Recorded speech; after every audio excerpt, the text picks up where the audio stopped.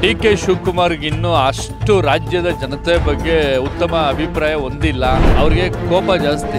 ಕಾಂಗ್ರೆಸ್ ಅವರು ಅರವತ್ತು ವರ್ಷದಿಂದ ಮಾಡಿರೋದು ಏನು ಇಲ್ಲ ಅಂತ ನಮ್ಮ ಒಂದು ಅನಿಸಿಕೆ. ಸಿದ್ದರಾಮಯ್ಯ ಬರೋಕ್ಕಾಗಲ್ಲ. ಕಾಂಗ್ರೆಸ್ನವರು ನಾವು ಆ ಜಾತಿ ಈ ಜಾತಿ ಅಂತ ಮೇಲೂ ಕೀಳು ಮಾಡ್ತಾರೆ. ನಮ್ಮ ಕರ್ನಾಟಕ ಜನತೆಗೆ ಬುದ್ಧಿನೇ ಇಲ್ಲ. ಇವತ್ತು ಬಿಜೆಪಿ ಸರ್ಕಾರ ಬರೋಕ್ಕೆ ಕಾರಣನೇ ಸಿದ್ದರಾಮಯ್ಯ. ಅವನು ಜಿಗ ಮಗನೂ ಜಿಗುಡ್ತಾನೆ ತೊಟ್ಲು ತೋಗ್ತಾನೆ. ಅಲ್ಲಿ ದೊಡ್ಡ ದೊಡ್ಡಣ್ಣ ಇರೋದವರು ದೊಡ್ಡಣ್ಣ ಹೇಳ್ತಾರೆ ಲಾಕ್ಡೌನ್ ಅಂದರೆ ಈ ಚಿಕ್ಕಣ್ಣ ಹೇಳ್ತಾರೆ ಲಾಕ್ಡೌನ್ ಇಂಥ ಗೌರ್ಮೆಂಟ್ ನಡೆದ ಇವಾಗ. ಈ ಬಿ ಜೆ ಪಿ ಲೆಕ್ಕಾಚಾರನೇ ಬೇಡ ನಮ್ಗೆ ದಯವಿಟ್ಟು.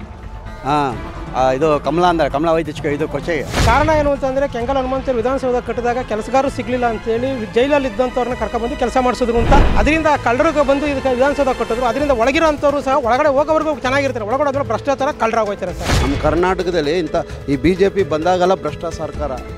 ಒಂದ್ಸಲಿ ಯಡಿಯೂರಪ್ಪ ಅವರು ಜೈಲ್ಗೆ ಹೋದ್ರು ಭ್ರಷ್ಟಾಚಾರ ಮಾಡಿ.